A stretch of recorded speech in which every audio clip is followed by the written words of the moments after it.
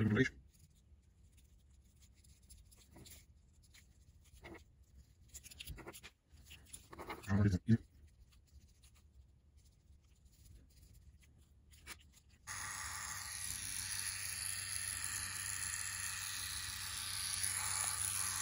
gonna lower my needle for this. I'm gonna ride the tube. I think I'm good around there.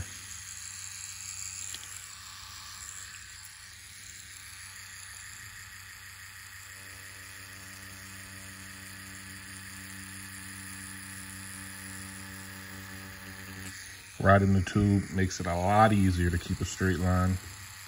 You're gonna hang your needle out just enough to where you could press the tube up against the orange basically without it being too much needle.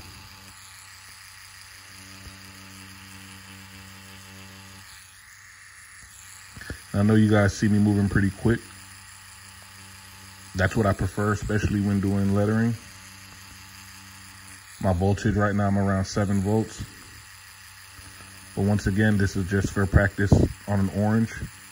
This is for practice purpose only. Do not use these techniques on real skin.